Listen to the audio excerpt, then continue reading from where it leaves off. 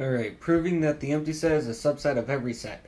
This proof is a little strange, um, but it's also very important. So, let's see here. Let A be a set. Um, for any set B, what does it mean to say that B is a subset of A? Um, this means that for every element x in B, x is also an A. Um, since um,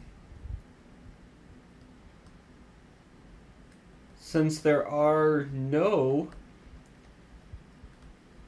elements in the empty set, it is vacuously true that for every element of the empty set,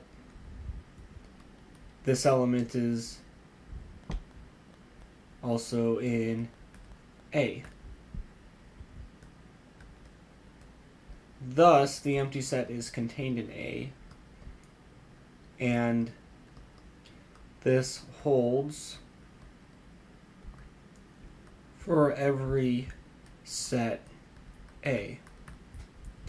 So, yeah, the logic here is a little strange at first. Um, the fa- be- basically what we need to prove is we need to prove that for every element in the empty set, that element is in the set A. But there are no elements in the empty set, so it is automatically true that any element in the empty set is in A.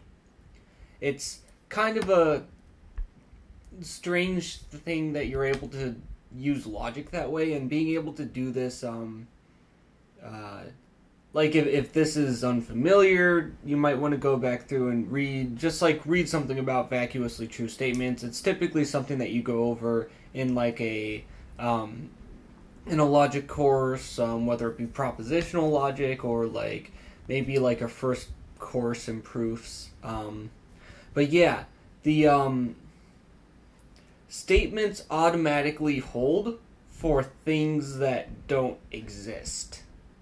And that can be really useful in situations like here. Um, but, anyways, that's all we need to do. And we've proven that the empty set is a subset of every set and we're done.